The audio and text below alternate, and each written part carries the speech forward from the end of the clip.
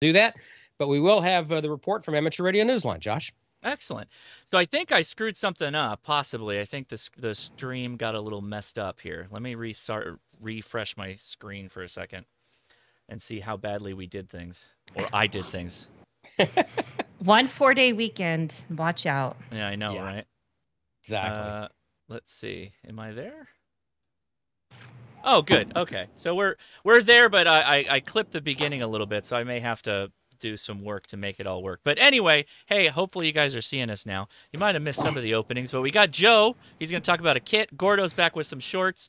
Don had a great hat. You want to hold that hat up again?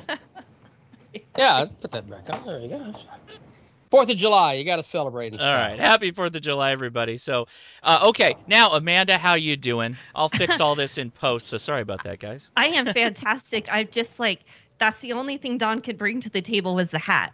Okay, it's okay, Don. I do what I can with what I got. okay. Indeed. Uh, doing fabulous here. Had a great fourth, by the way. Great uh, field day. Not as active as I would have liked to been. Uh, we're going to recap some of our activities, and then also got a great, great POTA enthus- enthusiast joining us tonight. KG2MM. Stay tuned, because Mike, or otherwise known as the other Mike, is going to tell us all about some of his POTA activities. So, Excellent. and we'll be following chat. Just add us and highlight our name.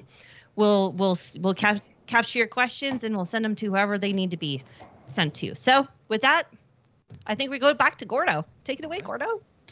All right. Well, thanks, Amanda. And yes, uh, field day, I think, for uh, everyone was a blast. Um, started out a little slow out here on the West Coast on 20 meters, but after a while, after a while, it really began to pick up. and of course, uh, field day night was uh, full of surprises.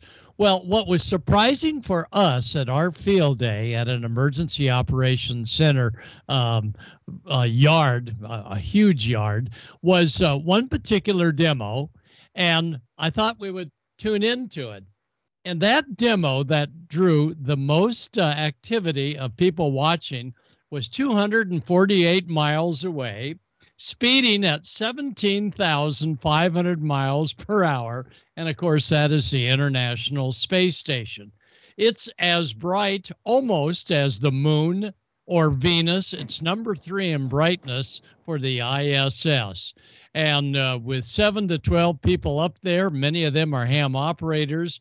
And the International Space Station uh, plays an important part uh, in communications in that uh, many times uh, kids will, through their school, work through the base station, uh, space station, and talk directly to the astronauts. Here, one of the schools are asking the astronauts, What's it like uh, for daytime and nighttime up there in space? Question, uh, we, uh, we have constant lighting, so the only time you really notice sunrise and sunset is if you happen to be looking out a window. In our crew quarters, we can keep them as dark or as light as we like. So we try to have lights on during the day and turn the lights off at night so we get a sense of, uh, of a normal day. so you never know what's going to happen at uh, field day. And this time, field day was all set to tune in the crossband repeater. Now, the crossband is uh, the output from the space station is 437 800. Uh, the input, don't even think about the input on field day, in that uh, there were so many folks trying, it was nothing more than a heterodyne. Although our particular station did get, I think, one or two syllables in edgewise. Uh, the uplink to the space station is 145.990 with a 67 hertz. Well, we had this tuned in, and one of the operators said, Oh, we're all set to receive it. And I go, No, you're not going to hear the space station for about half the pass on that frequency. And he took out his uh, man. He says, No, it's right there.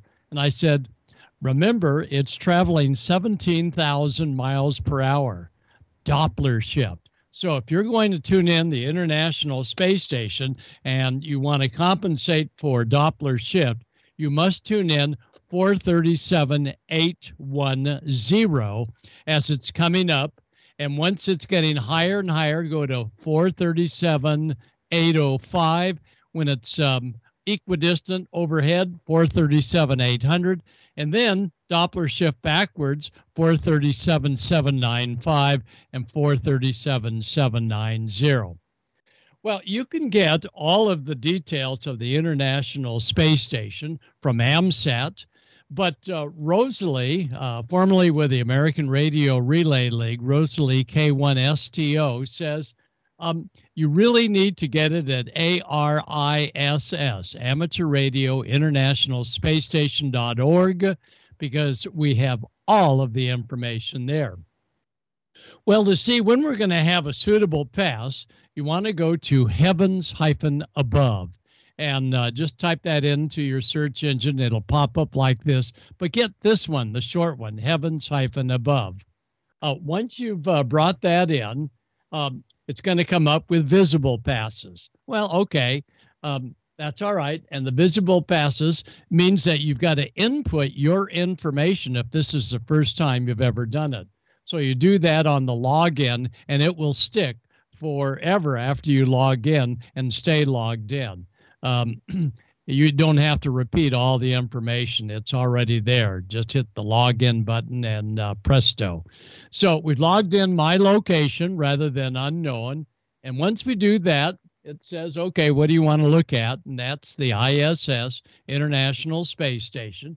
And it says, okay, we're going to give you visible only, which means uh, early morning, uh, twilight, as well as uh, evening sunset. No, the space station works all the time. It doesn't require on uh, early morning or late in the afternoon. So instead of doing visual only, click the all button. And once you've done the all button, you're going to get all of the passes for the day. Now, remember, the times they give you are local time to where you're located, not universal time. So when you see 0730, that means 7:30 in the morning your time, your local time. Don't try and add or subtract 5 or 8 hours or whatever. And to be able to uh, get a good shot at it and working with a handheld or whatever type radio crossband you have, you want a, a good elevated pass. 30 or 40 degrees will do fine. Um, once you have all that information, uh, you can then go on Heavens Above and click to see where it is. And there it is down off of Africa. And um, do a, a, few more clicks, and um, we'll see it uh, sort of headed hopefully in our direction out here. And then Heavens Above allow you to go into another uh, clickable item and see where it is on a graphic like this. Yeah, that one's a little weird. That'd be good in the middle of the night. So I like to go to ground track and look at ground track. Well, we'll show you ground track in a second, but ground track is going to give you uh, an optical view of where that space station is coming up, going overhead and down. Now, you don't need a fancy antenna to hear the International Space Station. In fact, what everybody most impressed was at field day, they could hear it on a handheld with a rubber duck. After they added five or 10 kilohertz as the station was coming up. Three element beam just intensifies your signal.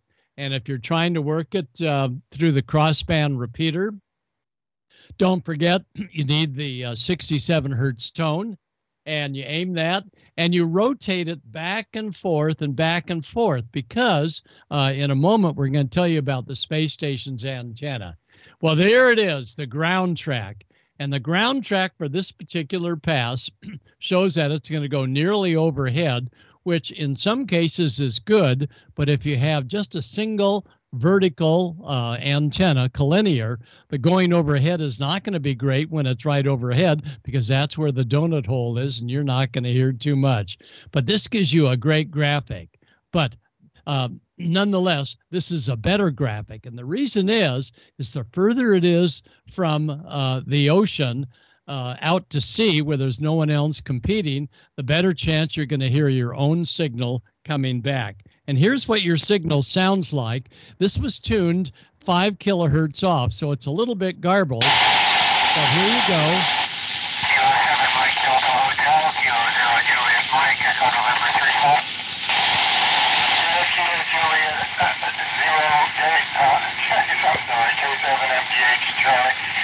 So you got to go quick because a lot of other stations are wanting to work it. And to be polite, don't hog the pass. In other words, make one or two contacts and then go next and let someone else go ahead and work it because this is on FM and it would be a major double.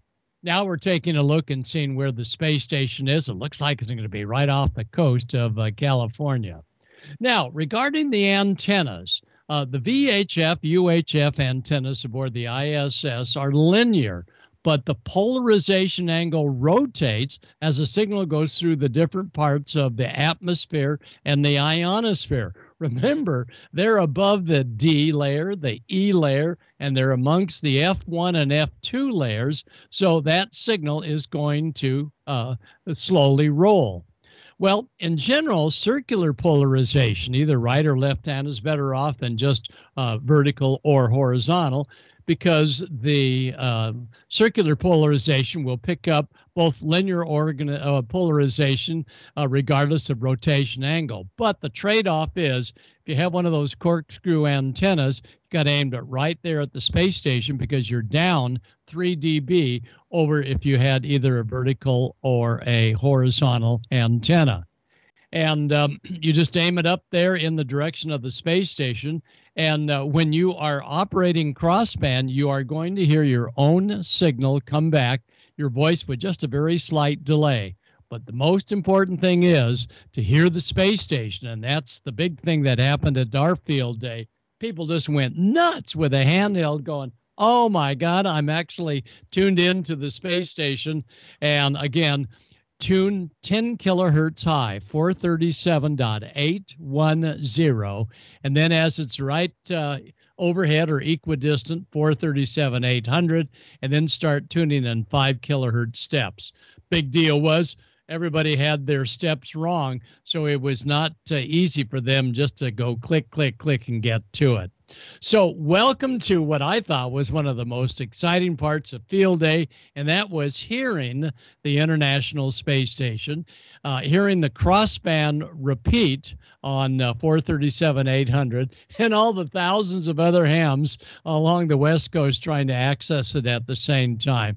But at least we got two words in edgewise. So, that's my story, and we hope everybody has a great week ahead. Amanda, back to you. Well, thank you, Gordo. And uh, that then earned you guys an extra 100 points for field day, did it not? Yes. Where's yes, the yes, bell? yes. Where's the bell or the, the train horn? The train oh, whistle. train horn. Hold on. 100 Yeah, points. there we go. 100 points. There you go. That train whistle is always on my desk, by the way. So beware. All right. Thanks, Gordo. Appreciate that. Did we have any Um, I questions? oh, you know what? I did not see any questions. I, I, I saw a couple. I'll mention. Did uh, you? One. Yeah. hey- was too busy actually chatting. I'm sorry. Yeah, Go- Gordo. There's a couple of questions where people are talking about antennas. If they're if they're interested in getting started, uh, what would you recommend they do as far as putting together uh, an antenna to do something like talk to the crossband repeat on the ISS? Um, certainly the dual band three element beams by Arrow, having both 440 as well as two meters, uh, as well as the elk antenna, log periodic. These are handheld antennas, uh, quite small. Uh, very workable with a handheld. So I would first start off there. But believe it or not, just a good long dual band rubber duck antenna on a handheld, they're going to hear the International Space Station well, but they've got to keep moving it to compensate for the uh, shift in polarization. And uh, for those wishing to actually hear their own signal coming through and working other stations, then a good three element uh, antenna and maybe 20 watts of power is what it's going to take to, to get through on two meters coming back on 440. You know, I actually saw, of I want to say a YouTube video. I forget who it was that presented. It was years ago, but he had one of those long, like 13 inch MFJ whips, and he was actually holding it away from um, a the hood of a car and using that as a reflector to kind of enhance the signal. Oh, I, yeah. I, know, I swear I saw that. Yeah. We've done that on field day before. Yeah. Yep. All right. And uh, I, I will- let me let me clarify one thing though. Um, people were talking about receiving SSTV from ISS, so that would be completely different. You're just receiving at that point in time, so you're just wanting one antenna to follow their signal, so that you can uh, keep uh, downloading the SSTV awesome cards that they send out and things like that. So a little bit different. Just And- receive only on that. Go ahead, and, Gordo. and that's that's correct, Amanda. And for the SSTV, it's either going to be on 145 800, two meters, or the packet channel 145.825. So remember, the 437 crossband is for FM crossband, but for hearing the astronauts talking to schools or slow scan television, uh, 145 800 is the place to be, FM. Absolutely. And um, I guess one of the astronauts has been out there kind of crazy, giving out some uh, contacts on their their their uh, space station um, repeater. So some people have really. I saw something on Facebook. I don't have the the finalized answers on that, but it was pretty interesting. All right, let's get to my guest. We've got Mike Robinson with us, otherwise known as the other Mike. joining us. this is KG2MM, um, previously known as Kilo Delta 2 Sierra X-Ray Delta. If you anyone has him in your logs, you might look at both if you're trying to see if you've worked them before. How you doing tonight, Mike? Uh, good evening, Amanda. How how you doing? And uh, glad to be on here tonight. Oh, fantastic. We're doing great. Um, so, you know, I we've been friends for a long time. We we started working each other on HF years ago, it seems like now. And uh we've we've exchanged QSL cards, but then we became friends on Facebook and I got to follow some of the other things that you do. And that's where you really piqued my interest in watching you go out and do all these crazy POTAs and stuff. And so uh, that's what we're here to talk about today. Um, I first I wanted to talk about before we show this clip. I wanted you to give firsthand what happened during your last one of your last POTA activations, or you were helping somebody else give a POTA activation, and they wrote up a whole thing about you and got you nominated. Is that correct? Yeah, that's correct. Uh, I had a buddy of mine that's local to me here in Jacksonville, Florida. His name is Mike as well, uh, KK4 UQP, and um, it was a surprise. I didn't know, uh, and and to find out while doing another POTA, I was in South Carolina, and uh, the POTA founder, Jason Johnston, uh, uh, hunted me down and, and told me, hey, I sent you a, a email, you know, um, make sure you check it out. And it was a, a, a shock to me when I did finally uh, look at it. And uh, he wrote a big a big uh, article on how I helped him get his first POTA activation under his belt and work some parks. That's amazing. And I think that's kind of what it's all about is uh I mean, I hear a lot of POTAs to POTAs all the time. So you guys always support each other and help each other get contacts, but actually being hands on, that it's fantastic. So Josh, if you don't mind playing the clip real quick, like. That's Brian. November 2, Bravo, Tango Delta. Tango Delta. November 2, Bravo Tango Delta.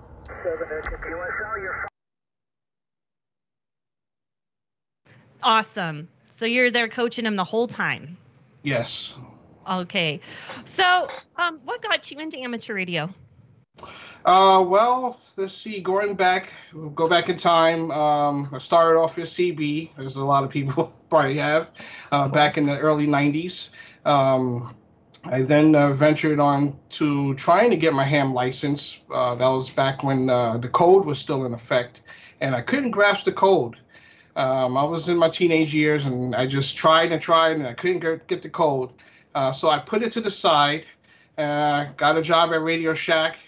Then I started uh, working in the commercial side with some Motorola dealers in uh, New York City, uh, installing repeaters and doing mobile installations.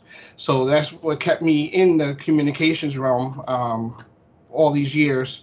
Then my career took off with uh, um, the police department, and, uh, and I put everything on hold and, and finished my career as a law enforcement officer in New York City. And um, upon retiring, uh, we moved down to Florida, and uh, it was just uh, I think it was Hurricane Irma, I think it was, where I was like, I, I need some communications. I have nothing down here, you know, for just in case. So I decided to look back into getting my ham license since I had more time on my hands now. And um, that's when I found out that code requirement was lifted years ago. um, so I took my took the exam back in 2019 and uh, passed, and uh, I've been taking uh, each uh, upgrade ever since, and now I'm all the way up to extra, and and that's how I am uh, here now. now you're now you're just a crazy active soul on uh, on the radio. So you you shared a lot of photos with us, which Josh is going to happily scroll through here, and you can uh, feel free to comment on some of them. And that this looks like one of your first activations. Uh, well, this was uh, last year, December of last year, in the dead uh, winter uh, in New York City, uh, activating a park in uh, Manhattan at Riverbank State Park. Okay. Uh, that was my uh, antenna setup at another park in the Bronx, uh, Roberto Clemente State Park. Uh, And it does look there. like it might be cold, maybe a little Oh, yeah. cold outside. Okay. I, I would. I was the only one in the park, uh, besides two other park workers that were walking around. But other than that, I had the whole park to myself. All right. Um, this is uh, a map of all the contacts I've made that day while in the Bronx at the Roberto Clemente State Park there, uh, from the Wolf River coil antenna that I use. Looks like- Awesome. Looks like there's two that are actually off the map on the east there. Where did those end up? Do you Uh, remember? Um, I believe one was uh, to uh, South Africa, or the island of South Africa. I forget which one that is, and uh, another one to uh, Europe. Fabulous. So pretty good job with the setup you had there. This is uh, a, con- a map of the contacts I made in Manhattan at Riverbank State Park. And that's me uh, posing at the Roberto Clemente State Park in the Bronx. Famous baseball player from the Yankees. And this one was uh, my Kilo Award. I made uh, over a thousand contacts at a park here in Florida. Uh, this one was at uh, Pumpkin Hill Creek State Park in, in Jacksonville, Florida. Here. So that means that you can make like lots of different awards uh, through the POTA organization. There's several steps you can do. Oh yeah, that's what makes the POTA um, so great. Is you could work towards a, different awards. Okay. Um, you know, so you could you could uh, pace yourself and challenge yourself to get these awards. Josh, have you and, gotten um, any? Sorry, I was Yeah. muted. No, I, I I don't have any because I, I I frankly don't get out there nearly as as much as I should. But just to put some flavor onto that, the Kilo Award is pretty cool because it's 1,000 contacts in one entity. So that's usually Oh, something you build up to. So Mike, congratulations on that. That's always something I know people really try to achieve in their, like their favorite park. That's like a thousand followers on YouTube. Yeah. So very good. Sorry. Yeah. All right, let's. Uh, and this must be one of your Florida POTAs. yeah, that's one of my Florida POTAs. I'm not sure, I can't remember which park. Most likely uh, Pumpkin Hill. Uh, one of my favorite parks to go to, and I sit there for hours, uh, working off a battery and and having fun. So now you you got to tell us uh, as oh see here's some of your equipment coming up. What are you using most of the time? Well, I'm using my ICOM 7300. I have uh, a second one that I, I carry with me, and my uh, little Pelican case there with the battery and uh, the antenna in the background there is the Wolf River coil with the 17 foot chameleon uh, uh, telescopic whip on top. Yeah, it looks really nice. Uh, this one here is me sitting at the uh, near the water, the St. Johns River, at Fort Caroline uh, Memorial Park, having fun. Oh. Yeah, you have to smile a little bit more to, to ensure us that you're having fun. Just saying. Uh, uh, don't worry, I'm, I'm always smiling on the inside. I might not too much. Uh, this is me and uh, Bill Brown. He uh, he's a, a, a great activator here in Florida. He goes to a ton of parks. I can't. I would never be able to keep up with him. And uh, he happened to be coming through Jacksonville, and he called me up and said, "Hey, I'm coming through." Uh, I said, "Well, let's meet up at a park and activate a dual, dual a dual activation." So we we met at Yellow Bluff State Park and uh, activated that park together. And I just have to say, everybody, when I was talking to Mike last night, he's so humble. He's, I don't know, you know, what do I have to talk about? But it, people are reaching out to you to come work with you and operate with you. So I think you have a lot to uh, be thrilled about. And um, yeah, you're doing a good job. His Let's call is K4NYM by by uh, just in case. That's Bill again. And it, he he he is having fun. Okay. All right, so let's see. This is me uh, in the wintertime here in Florida at uh, I believe it's Jennings State Forest, if I'm not mistaken. just having fun. So wintertime in Florida, that means it got down to what, 60? well, it actually gets down to about 32 degrees at, at night. Oh. You know. I know. boy. I know. I'm Yeah, just, I'm just yanking your chain. I know. Yeah. And uh, while while Josh scrolls through some of these pictures, I have to tell you, Mike, some of the comments in the chat are, and I'm going back here a bit. Oh my gosh! Thank goodness he's been a cop in New York City. Thank you for everything you've done, and what a top-notch operator. Um, people are really impressed. So, all right, who's this guy? Uh, that's Terry. That's one of my good friends there, W4CXT. Um, I- that was a first time activation for him as well. Oh right, Uh, that's me again at Yellow Bluff State Park. I really like that case. By the way, that's very. Is that is that the real thing or is that a That Harbor is Freight a, one? that is an official Pelican case. Okay.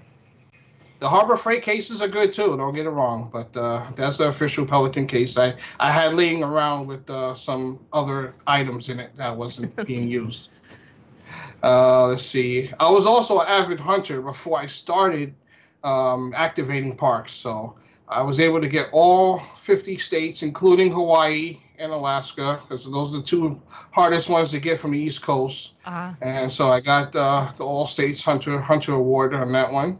Now, what do you what do you do band wise when you when you activate? Are you are you pretty straight and simple twenty and forty, or do you do the work work bands? No. What do you do? I go I go to all the bands. Yeah. Depending on the time of day that I get out, um, I might start on 10 meters. I even might, well, nowadays I've been starting on six meters and I work my way down. So I'll start from six meters, stay on there for maybe, you know, 20 minutes to see. Then I'll drop down to 10. Yeah. Then I'll go to 15, 12, 17. I, I go all to all the bands. Um, the only ones that really don't hit too much is because it's daytime is 75 meters and 80. So yeah, um, that makes sense.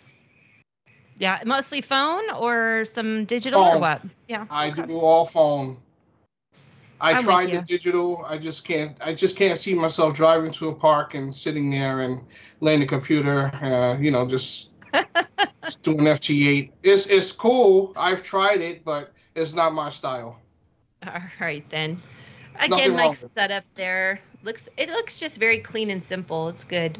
And what's this contact? Okay, so this was a extension of the other map that Josh was asking about. Ah. Those two, those two lines that were going uh, across the sea, uh, ocean there. So uh, one was to Europe, and the other one was to looks like down there. I, I can't remember which island. One of the islands down and uh, the Caribbean. Probably, most likely, probably was Puerto Rico. Yeah, it was KP4. Yeah. Good. Oh, hey. Hey, that? That was a scary. You have to give us warning before photos like this. Oh my god.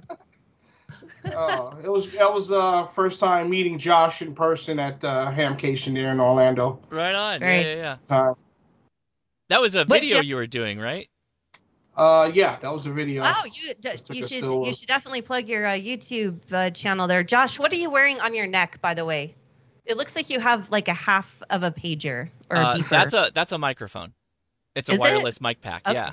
Yeah. Right. Yeah, Mike, don't forget to tell us what what you have a YouTube channel. We could follow you to see some of your POTA activations. Sure, you can follow me at uh, KG2MM Ham Radio. Okay. Um, I don't have tons of videos like uh, a lot of other activators do, but uh, make sure you just uh, in the search bar type in POTA, and you can find tons of vid- uh, video creators uh, with tons of videos uh, out there, and just enjoy and learn, and uh, get out there and have fun on the radio. Very good. And uh, what else is on your aspects? You you got all this POTA. Are you gonna come out to Colorado and do a SOTA with us? Yeah, uh, I would love to do a SOTA. I have not have uh, not had done a SOTA yet, and I would love to uh, get one under my belt. Well, we'll bring And, some uh, oxygen for the 14,000 foot level because you know, you're never going to be able to breathe. But uh, we will Well, put you I- on the microphone. But this this is the Outstanding Operator Award he was nominated for, which I think is fantastic. That's Yeah, awesome. It was a complete shock on that one. I could imagine. You, you know, you're going to be one of those top notch. Um, what did somebody help me out? I'm ARRL now, and I should know this. Uh, that top A operator thing that you get nominated A1 for? operator. A1. A1. Oh, okay. Yeah, it's an A. Well, he's, you know, he's going to be there soon enough. yeah, I just enjoy helping people and uh, getting them out and having fun. That's my main goal. I, you know, if I don't activate a park, it doesn't affect me. I, I'm not going to push anybody off and say, "Well, you better learn because I got to do my activation." That's not my style.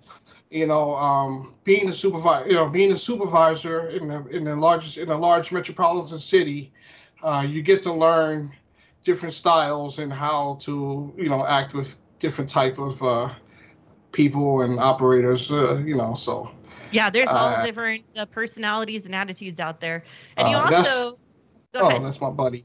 That's my buddy Dom. I took him out for his first activation up in uh, South Carolina, up in Lake Wateree. His call is the Whiskey Four Delta Oscar Mike, and he's in the chat as well. And uh, he had a great time just uh, hanging out and getting out the house. Good. Oh, uh, let's see. We're down to see uh, the SpaceX launch uh, early in the morning. So while we were down there, we went to Activator Park. That's my uh, a couple of my uh, club members there. That's uh, Rajesh K4SK and Brandy uh, K4 Papa Lima uh, down near Canaveral National Seashore. That was my first time there as well. Also, that was great. Amazing. And uh, they did their f- uh, first activations as well. Very nice. Yeah, it looks like they were having a really fun time doing that. So glad you introduced them to it. Oh yeah. Uh, okay, so I guess this will be going towards the, the next section of field day. So this was uh, from the last field from field day, what two weeks ago. Um, that was my little my setup there at at, uh, at uh, the location that we had set up for the Duval ARES group, um, North Florida Amateur Radio Communications uh, group. There we had our ARES set up. Nice And that framing my with little that with that logo there on the shirt. Nice framing. Whoever snagged that picture, right? They should use Yeah. that on the Yeah. website. Yeah, I'm very active in the or to, in the ARES uh, group as well. Um, that was uh, Todd's uh, setup there. He he's usually the the grand uh, the grand master of the field day. He brings out uh, all types of equipment and solar panels and such. And So, Yeah. Mike, before I forget this question in chat, somebody wants to know what what size battery are you using when you go I'm out? using a 20 amp hour Bioenno. Oh, Bioenno, Gordo, ding, ding, ding. I think he dropped off, but Yeah, the best. yes, okay. Thanks for that. All right, let's go back to your field day setup there. Uh, it's just a picture of my uh, setup there just before field day started. now, do you, do you do you have pictures of your antenna setup or anything for field day? I, I think I, I think I included one, but Okay. uh, not not 100 percent sure. well, I'll ask you if. I don't see one, but yeah, keep going. that is um, Brian K4BJS, and uh, I forgot the other ham's uh, call sign there, but that was his setup there. He's a section manager section manager for Duval County in Jacksonville, Florida, for ARES. Nice. Now, were you guys like at a park in a ballpark? Is that why they were Uh, behind the chain link fence? They're in the We were actually we were actually at a church. Oh, okay. Yeah, we, we, it would have been nice to be at a park, but we were at a church. Um, one, the pastor of the of Bo, uh, Hogan Baptist Church in Jacksonville is the active ham, so he lets us uh, use his uh, facilities for our meetings, our monthly that's meetings, nice. as well as uh, the baseball fields that's behind the church uh, for for field day operations. And we have pulleys set up all, all around already, so it's ready to go. You just put your antenna, pull it up, and and you're good to go. We have ground rods uh, already in place Oh, smart. Around Yeah. around uh, the pavilion there. And it looks And, like you uh, guys got some kiddos there too. Yeah, that's Todd. That's Todd uh, showing a, a, a young ham uh, the ropes, and he got to get on the air and enjoy himself as well. fantastic. And then I just saw some huge solar panels. Yeah, that's that's uh that's some of the solar panels that Todd uh, brings out to, to field day. Um, usually he has about four or five rows uh, of solar panels for anybody that wants to use them. He can he'll let you use them, and you can run your station totally off of solar. And uh, what you guys run as? Were you three alpha? What were you? Five five alpha. Five alpha. That's a pretty heavy setup. Five stations, man. Mhm. Anybody that sets up that many, you know, that's a lot of work. Oh yeah. Mhm. Oh, and here's night operations. Yeah, that's my tent. I, uh, you know, I had my little light and my canopy, and I stayed out till kind of late until the mosquitoes started uh, biting even heavier, and then I left and came back the next day. Well, you look like you're enjoying yourself. That's for sure. Oh yeah. Uh, I, I don't know though. I didn't see any food pictures, so I'm I'm questioning. Is it really What a was the day food? if there's no Yeah, food? don't- What's what's up with well, our food was catered by the Salvation Army. We have a good kind of Wow. partnership with the Salvation Army for in Duval ARES. And uh, Saturday evening, they came and, and fed us uh, some good barbecue. No problem with that. So that Can was I the come next year? that was the last image, and I didn't see any antennas. So maybe you just tell Oh. us, you know, how did you handle the antennas, and then uh, having a five alpha station on the air? How did you Mhm. handle all the the potential issues with them uh, being so close? Well, we're not uh, a, heavy uh, group on contesting. We just, you know, go out and operate. So we would take breaks. You know, one station would get on uh, 40, another one on 20. I had a band pass filter on my station as well, and um, you know, band pass filters all around. But typically, we didn't have a lot. The stations all transmitting at one time to uh, mitigate the interference uh, amongst each other. So that's how we did it. No, no. Fantastic. I think I think it's a great setup. It looks like it's a great uh, group of people. And what was the club name again? Just so we we get it clear, because I think I Okay. missed it. Well, the, the club name is the North Florida Amateur Radio Society, NOFARS for short. And the ARES group is Duval ARES. That's Delta Uniform Victor Alpha Lima ARES group in Jacksonville, Florida. Very cool. Well, Mike, thank you so much for being here tonight. We really appreciate it. Is there anything else you want our viewers to know about what you do? Um, no, just follow me and uh, go out and have fun. Play on the radio. I love it. I think we will. That was his YouTube, and link will be in the description. So thanks everybody. Thank you, Josh. Um, with that, Mike, we're going to say 7 3. Stick around, of course, and we're going to go to a word from ICOM. Be a Field Day leader. Field Day is ham radio's most popular event. On June 26th and 27th, more than 40,000 North American hams come together to operate remotely. Connect with nature. Connect with friends. With a powerful and high quality ICOM radio, easily cut through pileups to get that contesting edge. Our popular IC705 portable, IC7300, and IC7610 SDR transceivers are the clear choice for DXers and contesters across the globe. The IC705 is the perfect transceiver for hams who enjoy both the great indoors and outdoors on field day. Features and functionalities at the tips of your fingers in a portable package covering HF 6 meters, 2 meters, and 70 centimeters. And it weighs in at just under 2 pounds. 4.3 inch color touchscreen with live band scope and waterfall. 5 watts with BP 272, 10 watts with external 13.8 volt DC. Single sideband CW, AM, FM, as well as full D-Star functions. The IC7300 is a high performance innovative HF transceiver with a compact design that will far exceed your expectations. This is a radio that changed the way entry level HF is designed. RF direct sampling, 15 discrete bandpass filters, large 4.3 inch color touchscreen, real time spectrum scope, and SD memory card slot. The real HF fun starts here.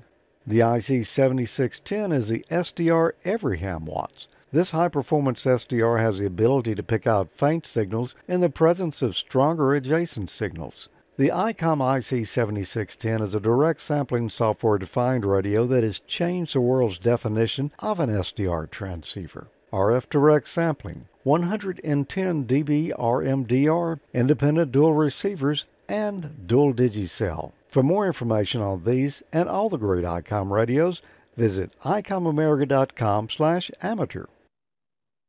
And thanks again to ICOM for sponsoring the show here, Ham Nation. I want to remind everybody that, you know, they do something pretty cool every time we do an episode. You can join into the swag giveaway. The link is in the description. It's for it's ICOM America forward slash Ham Nation. Again, link in the description for the show notes. If you click on enter now, you can be entered into a swag giveaway. They pick three winners every time we go live at Ham Nation, and at the end of the month, they pick a grand prize winner that wins a radio. This month, a great VHF UHF dual band analog radio 2730A will be given away. But the winners for the swag prizes this episode is Keith G KK7AQN, Christopher B N1KCE, and Stephen E KI5THM. Also, it reminded me while I was watching that ad, uh, and also what Gordon said earlier. I have a 705, and one of my favorite things to do with it when I've got it hooked up to a VHF UHF antenna is watch the ISS and other satellites as they go across my waterfall. As uh, Gordon mentioned, Doppler shift, you can do that with the programming of the radio, but if you've got a radio with a screen, you can just kind of hand dial it in when running in crossband repeat or crossband transmit mode. So on your receive side, you just kind of walk it in with the VFO and you can transmit on your uplink, which is pretty handy. That works for the 9700, obviously, and also the 705 if you're out in the field. Anyway, big thank you to ICOM. Let's go talk to Don, see what he's up to. Maybe he's got that hat on again. No, it's uncomfortable because it hits the back of my chair, and I don't want to sit like this, like I'm all hunched over. So uh, no, the hat's the hat's right down here. I did uh, make good use of it for uh, the Fourth of July, though. Went over to a coworker's home and uh, enjoyed a nice uh, cookout, and we had a, we had a good time on the Fourth of July. So that was how that went, and did a bunch of uh, like I said, the 13 colonies chasing, and got the got the full pull on that. So Ooh. we're pretty happy about that. All right, we don't have a report from Dr. T this week. She uh, was fairly busy, I guess, but uh, you can always follow her on Twitter at Tamitha Skov. And of course, check out spaceweatherwoman.com. And she has a great YouTube channel as well, where you can see all of her reports. Just search Tamitha Skov on YouTube. And uh, uh so we'll uh, check in with her next time. And of course, you follow her, like I said. But let's go ahead and get the news of the week from Amateur Radio Newsline. From Amateur Radio Newsline Report number 2331, this is Ham Nation headlines for Wednesday, July 6, 2022. In Europe, Ham Radio Expo made a triumphant return and Newsline was there. Last weekend saw the 45th Ham Radio Expo in Friedrichshafen, the first after three years of lockdowns and two cancelled events. All were eager to get back to the Neue Messe in Friedrichshafen on Lake Constance in the south of Germany. Turnout was expected to be around 10,000 compared to just under 14,000 in 2019. After the effects of the pandemic and with the current inflation levels, this is not a bad showing. While the main hall seemed a little less full than normal due to the stands of Kenwood and Yaesu not being there along with the large WiMo retailer, the flea market in its two Zeppelin-sized halls was fuller than in 2019. Talking with dealers and manufacturers, I learned they were glad to have, it seems, come through the pandemic. Several, however, said it was close and another lockdown would have meant the end to their businesses. Many are worried about parts supply and while most have stockpiled components, their stock is dwindling. For Amateur Radio Newsline, I'm at DD5LP. In amateur radio business news, the passing of the guard continues with word of a prominent silent key. The man behind the highly successful company Ehrhorn Technological Operations has become a silent key. Dick Ehrhorn W4EA, W4ETO started the company in 1970 and began production of the line of high power alpha RF amplifiers so popular in the amateur radio community. Dick was a lifelong ham. Mary Bittner, WB0PXM, told Newsline that Dick and her late husband, the Reverend Paul Bittner, who had held the call sign W0AI, AIH, had been friends since their Minnesota high school days when they met through a school amateur radio club. She described Dick as a good friend and a man of faith. She said Dick, who was in failing health, died Sunday, June 26th in Virginia. He was 88. Newsline anchor Neil Rapp, WB9VPG. A special event is underway to celebrate the life of a ham known globally as a man of adventure and compassion. The gifts of friendship, humanitarian gestures, and good DX that filled the life of Zorro Miyazawa, JH1AJT, are being celebrated by operators of a month-long special event station, 3 Delta 2 Alpha Juliet Tango, in Fiji through to late July. Zorro, who had cancer, became a silent key in March of this year. Throughout his long amateur radio career, his DXpeditions helped put notable and coveted DXs in the logbooks of hams around the world. Zorro was also known for his charitable work on behalf of children in Cambodia, Bangladesh, Japan, and elsewhere. The special event operators will be on the air using CW, SSB, FT4, FT8, and VarAC HF digital chat until the 27th of July, which would have been his 73rd birthday. According to the station's page on QRZ.com, the final day on the air will be marked with a farewell party organised by Zorro's widow at one of the schools her husband founded in Fiji. QSL via Club Log. For Amateur Radio Newsline, I'm Jason Daniels, VK2LAW. And that's all from the Amateur Radio Newsline, your independent source for amateur radio news for four decades and counting at arnewsline.org. With Ed Durrant, DD5LP, Neil Rapp, WB9VPG, Jason Daniels, VK2LAW, Caryn Eve Murray, KD2GUT at the news desk in New York, and our news team across the globe. I'm Don Wilbanks, AE5DW. 7-3. We'll see you next time here on Ham Nation. And a big thanks to the Newsline crew. And uh, we're missing Dr. T, but of course, like I said, follow her on Twitter, uh, spaceweatherwoman.com, and her YouTube channel. So now from my great big hat to a little bitty radio, here's uh, Joe, K0NEB. Sexy hat. Thank you, baby. Oh, did we lose Joe? Joe? Joe's Joe. froze. Joe's froze. Uh oh. what happened to Joe? Well, you figure that out. I'll talk.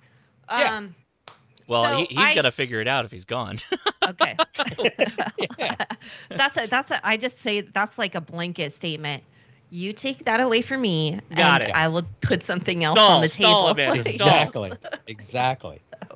I I'm gonna give Mike Mike. Uh, I hope you have these papers in front of you because Don showed his cute little list, the little list. Yeah. Mike has 13 colonies on three pages. Yeah, Oh see, I don't. I don't do that. I'm, I'm, I'm not as industrious. Although I think I'm going to try to do Me that. I'm going to try to, I'm going to try to do all sideband. I'm going to try to do, um, you know, all digital. And and uh, my goal for next year is to get back.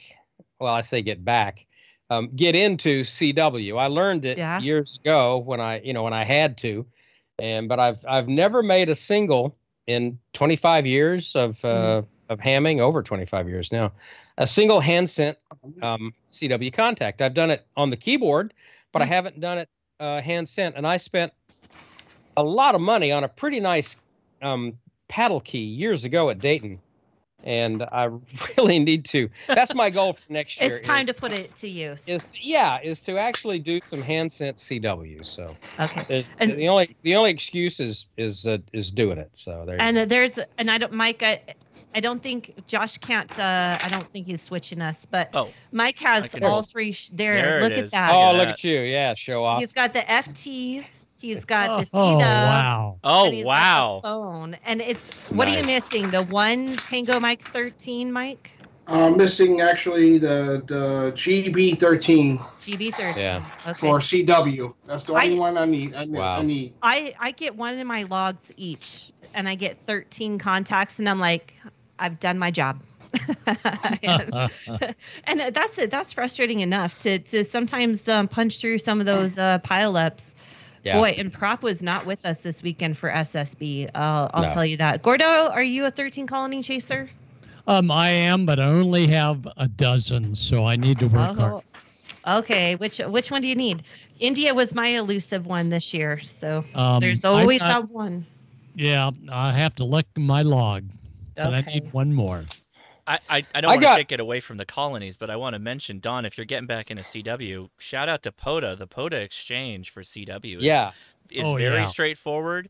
It's a real Mm-hmm. nice way to get back into it. That's been where my contacts have been hunting people from home, and it's been it's been Yeah. great. Yeah. I'll check that out. I made Josh- all of I made all of my contacts but one on uh, July second. Wow. Wow. And it was July fourth was when I got uh, GB13, and I got him on D Star because I, I tried FT4 and FT8 and sideband, and it just wasn't happening. He got on D Star, and that's how I got him. The- they were pretty big pileups for that for that dude. I'll tell you what. Uh, Josh, you chasing 13 colonies too? I, I didn't have the time uh, while I was doing my after chat on Saturday. I did have a couple of the individuals running the meme appreciation month uh, hop in, and, and I made some contacts with some I, of the I the can't meme, even imagine. the meme the meme crew. Uh, oh my! Can, Canada apparently you can pay them pretty much a, a, just a flat sum of money and they'll let you make up any kind of call sign you want so your Really? suffix your suffix can be like eight to ten characters and they don't care so they had Wow. like they, they have some wild ones like rickroll and uh yeah, yeah I- I'll, I'll pull up the website so we'll, we can see it but um That's hilarious. someone Never answer heard of that. someone It's answer snake funny. doctor could someone please tell me where to find all the frequencies for the 13 colonies Oh well, you know you got to follow DX clusters for that. Yeah. That's- Yeah. DXSummit.fi is your Yeah. friend, and in the search box you can just put all the uh, put all the All the various call call, signs. signs. Yeah, in the search box, and uh, yeah, I yeah. yeah, okay. Full disclosure, everyone, I do it a different way. So I choose a band. So I I open up HRD because it's easier to share logs. We have numerous logs here in this household, so I'll use old software HRD, not the bought and paid for one. Am I allowed to say that? Um, and so I'll just pull up one band so I can see who's on that band so I can at least stay tuned. Especially if you're using power, you want to stay tuned. You don't want to have to keep jumping back and forth between bands. So that's the way I that's my um strategy, but everybody is kind of different. But yes, if you want to see a full thing like maybe there's more on 40, so you just jump to 40 and keep it Yeah. tuned for 40, that kind of thing. But man, I could not hear these suckers on 40 this year, I'll tell you what. Maybe Forty was noisy. it was like I would have had an hour window, and that's about it. And then it was so that, and then when they're on 40 and 75, you got to figure that they're getting their neighbors. So everybody in New England wants to work them at that point in time. So you should probably just lay back on that and let New England work them and get them in the logs. So you you stick to your 20s and 15s and maybe even the work bands if they're on that, and give 40 and 75 to everybody on the East Coast. It's great when the operators work the numbers because that gives I- everybody an even yes, chance. yes, Yeah, ding, like ding, ding. Like Although, that. Guess what? I'm a one call in Colorado, so I'm a one call in a zero land. So Yeah. they like to point. They're gonna That's true. turn. They're like, I'm pointed to one land, and you're like trying to call. But most, mostly, I, every time they pick me up on the back of their beam if that's what they're using. But, um, that's it. Yeah, you got to have a strategy when you go into this. You guys, next year we're going to work this out and we'll have it on the show and tell you the best way to get the 13 colonies logged. Maybe have some representatives from there. So Yeah, and be patient too with these guys. I mean, Oh, I've, yes. I've been watching the Facebook yeah. group for 13 colonies on the air, and let me tell you something. There's a lot of nastiness going on out there. Be patient with these Not guys. They are all they're all volunteers. They all have jobs. They all have families. They all have better stuff they could be doing rather than than uh, you know sitting there, you know, for you for hours on end. Uh, Yeah. You know, so be nice, be courteous. Um, you know, follow the uh, follow the the the you know DX the, the, code of the conduct. hams. That's what I'm thinking. of, the Yeah. DX, exactly. The golden rule: follow it all and and be nice. and be nicer than that for the Right. love of everything. This is for Exactly. America, right? So, Exactly. and just- thank them when you make contact with them. I mean, unless you're on like one of the Yes. FTs or something where you really, you know, can't make a comment. But man, thank them for their time and and and show them that you appreciate them. That goes a long way. That makes them want to come back and do it next year. Yep. We have we have all in this uh, sitting in this room right here, well, separate rooms. We've all ran a pilot and we know exactly how frustrating it can be Oh, when yeah. you're like Oh yeah. you guys stopping just stop. Okay. I said whiskey November Golf. You're coming back with Kila Sierra Fox. No. just Yeah. no. or or half Yeah. a call sign twice uh, and not not the Yeah. full call sign. There was a lot. Uh, I I have heard some some wild bad actors uh, out chasing the the colonies. So guys, really, you know, Play DX nice. code of conduct. I and I DS I code- DS believe code Exactly. conduct. I believe that a lot of people really are QRP, but I know the difference. Well, we got know Joe back, difference. but I think he's he's on a phone, so I'm not sure Uh-oh. if he's Okay. Joe, can you hear us? I can hear you, but uh, I'm having issues. Well, that's okay, Joe. Uh, we can we can do the kit another time because we're we're almost Oh, at the, totally. the end of the hour, and I've got some uh, images from field day uh, that I was going to talk to if if we had the time, and and maybe that'll work. Joe, is that all right with you? Otherwise, we can just Yeah, look at your fine. ceiling light. I do like it. It's a good and I will. With Okay. the popcorn finish. Yeah, Yes. it's got Yeah. that. Yeah, very good. Well, you, you work but around with it, and if you if you end up making it work, that's fine, no big deal. Otherwise, um, I'll just I'll just go ahead and take it. So, let me see if I'm if I'm up over here. Oh, that's the meme appreciation, by the way. Uh, Oh, that's, great. That's what that looks like. So, those are the so those those are some wild long call signs. VB3 Harambe. If you if you give them six, 60 bucks, uh, if you give the the Canadian, I don't know who it who it is. Uh, it's one of their. Um, it, I, I can't I'm remember so the name of it. That's wild. But I've yeah, you, you of can you can get some wild call signs out of out of Canada for sixty bucks. So that that's pretty good. Rick Roll. I made contact with Rick Roll and. That's funny. uh, I I'm not sure who it was. The other one. Rick Roll was one though. Anyway, okay. So I uh I I did a I did a I did a field day uh, out on the beach. So Oh, I, I got invited out by the Huntington Beach RACES team. Uh, a lot of you saw this in my video, but I thought I'd just show some pictures for the Ham Nation crew here. Anyway, beautiful spot. This is actually the dog beach, which is really fun. So you get to see a lot of uh, puppers running around, which is pretty good. Uh, I set up a, a very cool antenna. I brought a uh, BuddiHex. So You Buddy were Pole- ambitious. no, Sweet. this is this is easy. Uh, Buddy Is? Pole sent me this hex beam to take a look at, and it's a it's a 10 meter mast. You use a little bit less than the than the top two pieces there. Telescoping mast, and the, the mast is actually keyed in such a way that uh, it's hand rotatable with a little crank down at the base. So cool. you got two elements on you know pretty much pretty much all the all the bands 20 and lower and, and sorry 20 and higher frequency uh, for field day which is great so you just get out there set up 6 10 15 and 20 and possibly put a triplexer or something in line unfortunately i didn't have a triplexer but we did have bandpass filters and it, it worked out okay 20 was was fantastic Bandpass filters back. are a must. I'm yeah back. yeah Oh, you're back, Joe. Joe's Great. back. Okay, so I'll make it quick. So there was the the field setup there. We had a little operating station inside the uh, the trailer. I don't know if I have a picture of that. There was uh, some of the the SWR. Just a quick show you on this antenna. It's a 1.1 on 15. Six Nice meters was RigExpert, by the way. 1.3. Yeah, uh, 10 was 1.1 and and 20 was 1.23, which is just you know fine. You know, obviously that complain that's a about that. So No, I'm sorry, complain. Joshua. I, I got to stop you though, but Yeah. I'm try. I couldn't see the frequencies very well because it's kind of really really small here. Was Mm-hmm. that in the phone portion there where it was 1.2, one, uh, uh, it was 1.1? 1.2 at 14.192. So you get a little 192. bit of the the higher side of CW and Yep. most of the uh, most of the voice there, if not all of it, because it, it is at the end of the day pretty much a dipole with Yeah. the with the with the hex beams. I was So- just curious on if you had to cut anything or if it was just No, all good or I- yeah. I did not. It showed up the Tuesday before field day, and I walked outside. I set it up. boom, boom, boom. I was like, "Well, this is this is fantastic." And then I put it all back in the boxes and took it out to the field, set it up. That was it. Done deal. Easy. peasy. Sweet. Wow. Good job. I like that. Very so, cool. so for everybody in the chat who who also on my comments of the video talking about Chris, Chris is slammed uh, with with sales and people that want this antenna and all his antennas.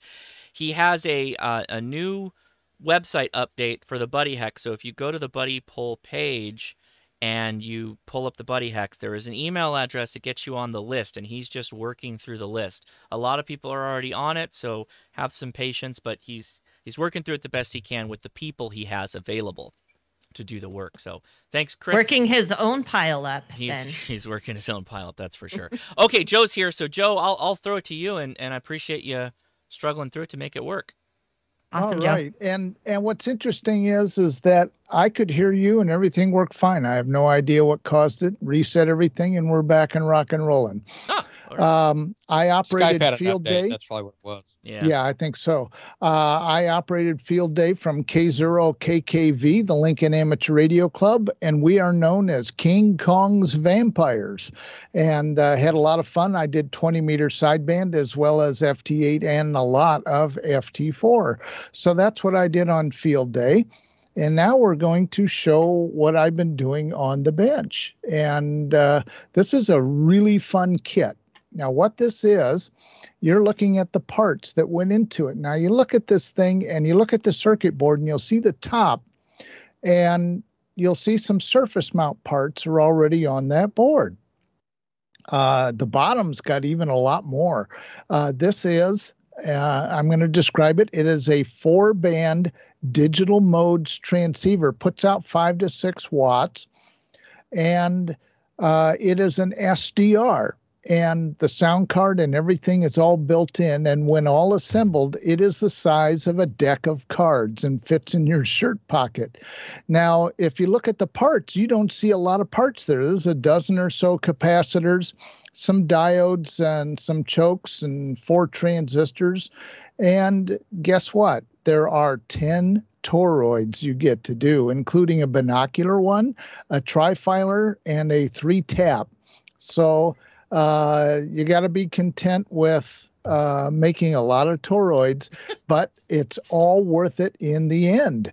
Uh, that's what you spend most of the time with. I hate to say it to some people who don't like kits with toroids, but uh, uh, the reward is right there. Now, that's what the case looks like. Uh, they do charge 20 bucks more for the case. So I think it was something like $80, uh, $86 or something when I was done uh, ordering this kit. Uh, the case is well worth it, absolutely well worth it. Uh, fits perfect. Uh, this is what the main board looks like after you put all the capacitors uh, that are through hole, as well as the uh, four diodes and the chokes, and not the transistors yet but that's what the board looks like a little more close up. And you can see lots of toroids in there. Now you've got the diodes in place and so forth, and the transistors. Now you notice they're clamped down to the board because it uses the board and that bolt as a heat sink.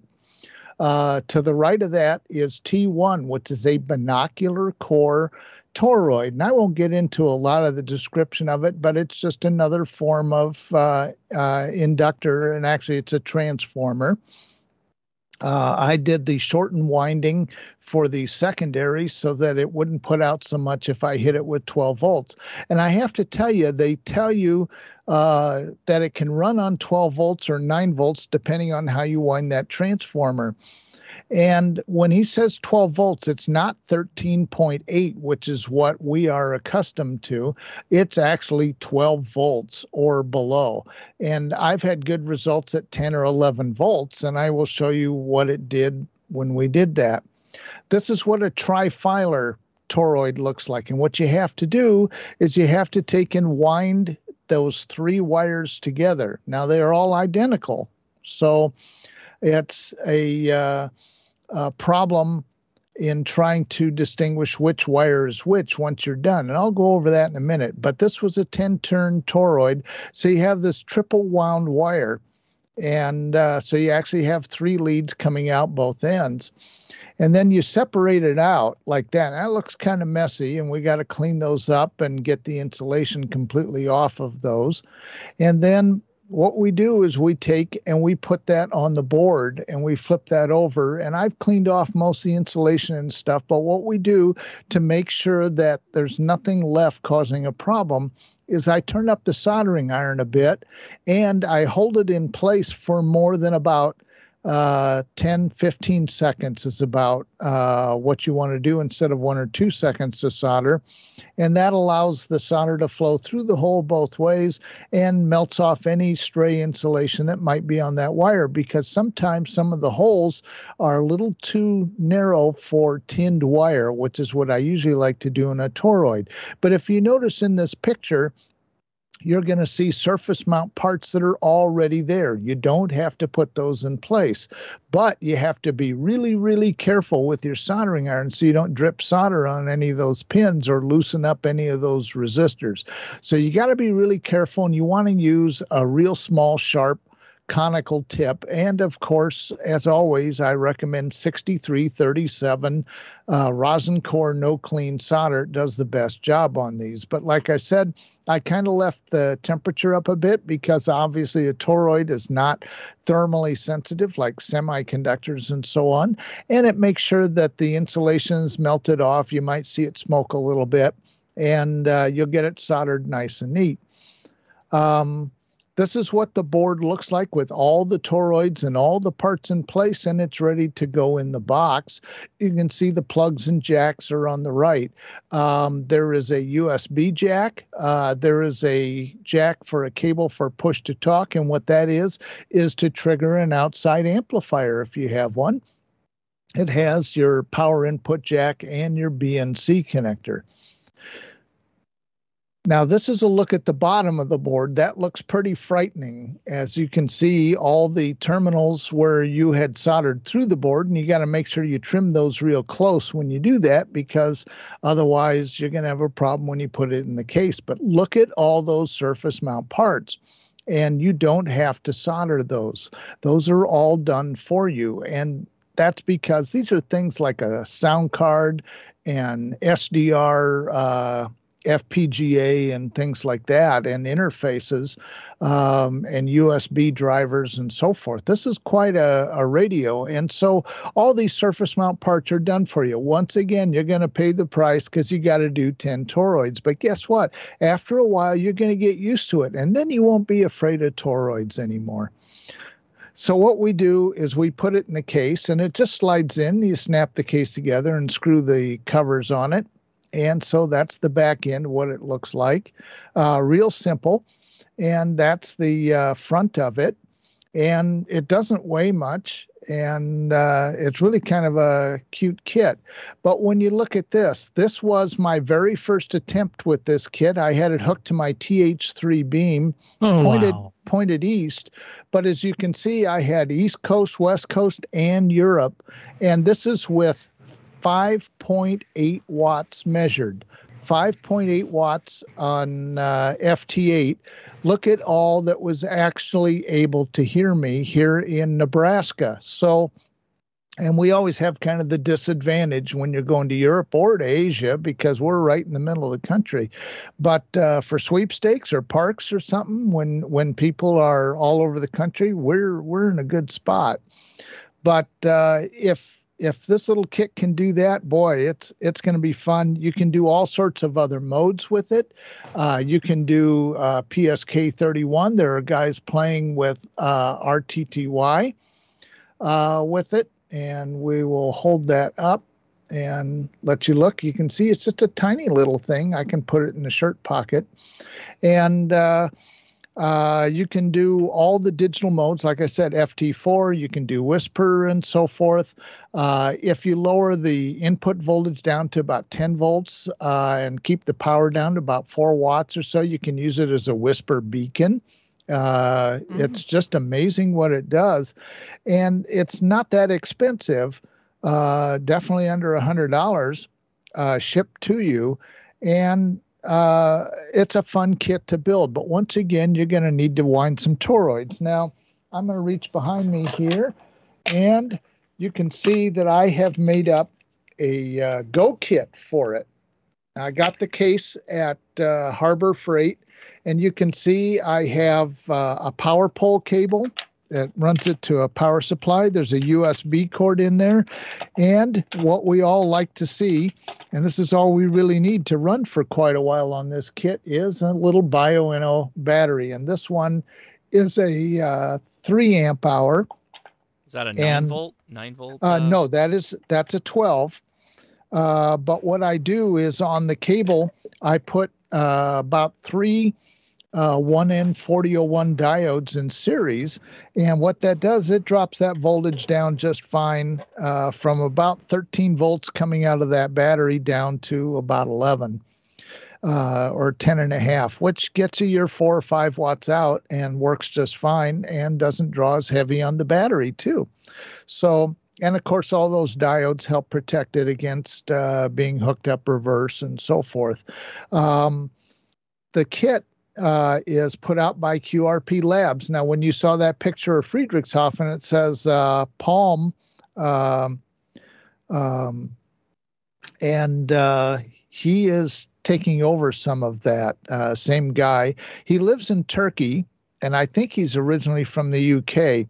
Uh, he has a UK call sign, and these kits, I have to tell you, these are the future of kit building and wow. they're a lot of fun.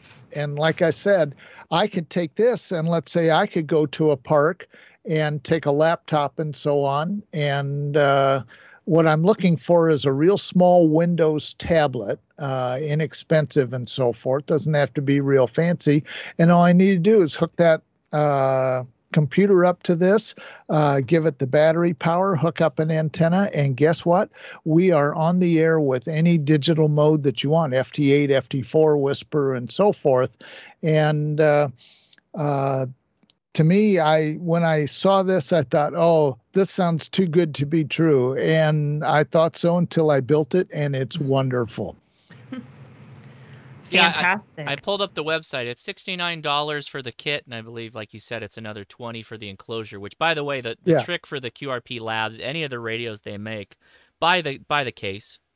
Yeah. Uh, yeah. It's it's very don't, inexpensive. Don't even and it's yeah. it works. It's fit perfectly. It's designed to fit well, uh, so you don't have to. I almost killed Amanda. She almost spit up her drink right now. With that one.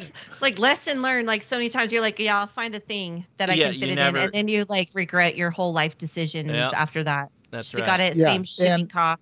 And it it like I said, it works. It fits. It snaps together, and then you put the two covers on it, and everything they make uh, with those cases, that's that's what you want. You definitely want their case. I'm very intrigued by the the Palm radio stuff. So those are the unobtainium CW keys that everybody wants and has wanted for a really long time. Are you saying that it's potentially QRP Labs is picking them up and taking over? Possible. That's possible. Uh, that's that's what uh, was mentioned at Four Days in May. But wow, uh, fireworks just went off um, everywhere calm down, yeah. everybody. But uh, I can I can tell you that uh, I have one of the the micro uh, palms with my KX2 bag, and uh, with my KX3 I have a Begali Adventure, and it's good to have a really good key with you when you're traveling or operating portable. I have a Palm Pico paddle, which is the Maybe that's the one. The little Maybe that's the guy. one. Yeah, yeah, yeah. They're quite the, hard to get now. They're very expensive. They're like yeah, it's yeah. it's only like that big, you know. yeah, and it slides into the little case. In fact, I bought it uh, at their booth uh, at Friedrichshafen in 2014. All right. Well, I, I, nice. I, got sidetracked because because Mike, thanks Mike for being on the show again, but he's also sent it. He he Joe got him all spun up talking about tablets and laptops. He just yeah. posted an Evolve three Maestro ebook laptop computer for sixty bucks. How that good? So wow! Cheap. How good can that be? That that can't be good. Really? Is it good, Mike? Is it good? I don't know. I'll have to look that oh, one up. Where is it, Mike? How is it good? Did you Probably just have yeah. you? Do you have one? You might be muted. He's muted. I'll have to look that up. Uh, yeah, we'll have to try that out. I I, I got to look. You at said that. was it Micro Center? I'll yeah, the link is in the. Uh, the I I the mean, you chat. could at least run some logging software and check your email. Um, what else is important out in the field when you're? Uh, yeah, I I think that the uh, I think they stopped making them, but the the Microsoft Surface Go, which was five four hundred bucks uh, with hundred with a with a keyboard attachment. That's about yeah, the that's, that's the most expensive. kind of, but it's it's a thin little tablety thing. It's it's very portable. That's the so that's the problem is that all of a sudden people like show up and like put their drinks on it and like nah man that costs six hundred dollars don't stop no touchy, um so you know I want something that it's you wouldn't feel bad if it got hurt or dropped from a picnic table those kind of things when you're out that's what well, I think. Well, maybe I'll buy one of these and then I'll. uh I'll tell Please do a taster's test choice on. I'll, I'll, I'll, I'll let you know. I mean, it's 60 bucks. I gotta try. It's normally 129. So Yeah, maybe I'll have to look because I may be down down near one of their stores in a couple of weeks. I'll have to take a look. All right. Well, we'll wrap it up here, everybody. Yeah. Uh, anything anybody wants to say to wrap things up? Go ahead. Take the floor. Oh, did Um, I got mention nothing. Nets? Yeah, we do. We got to we got to mention Nets, but um, let me go around the circle. Gordo, thanks for being here tonight. You really have piqued people's interest in Thank you, the ISS again.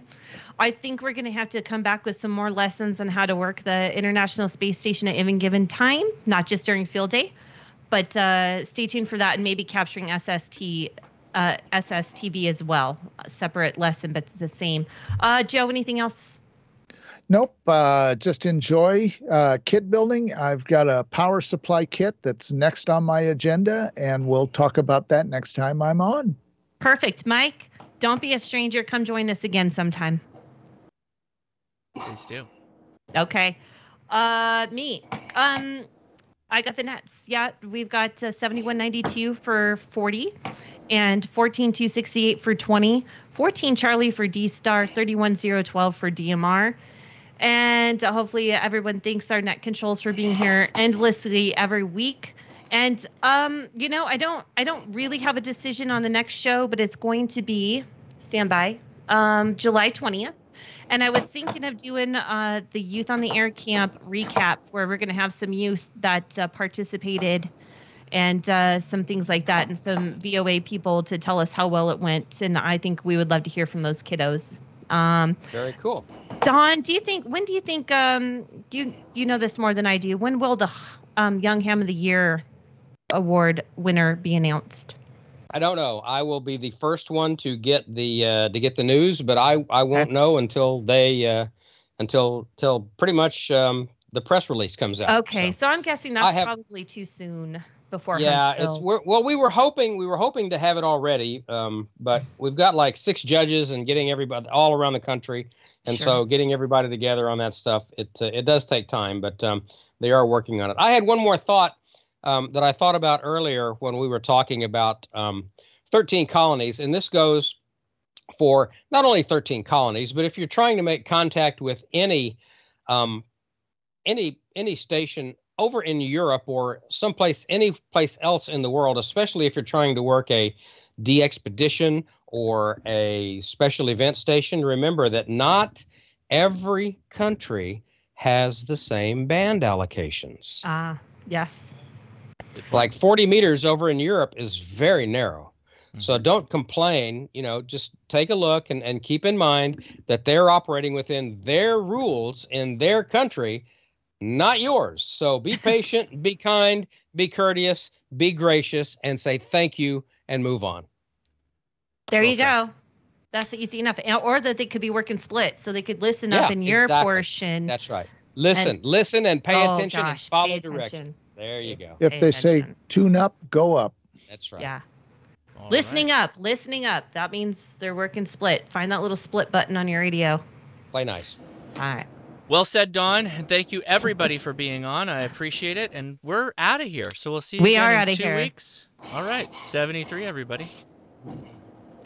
Three. All right. I'm going to buy this laptop. All Here right. we go. I, I don't know. I'm, I'm not expecting a lot. Yeah, so you stay know tuned. what? This it's was this through Facebook because if it was a Facebook purchase, I mean, I don't even know what you're gonna get. It might just Um, actually be like Trying to No, get this my is- mic on. This is Yeah, you got Micro it, Mike. Center. They have a store like three hours from me in Ah. Kansas City. I I never seen it, but it says Hi, it's not on display, but located in laptops. So you have to ask for it. Josh. we won't, we won't put it on the show floor because it's not any good.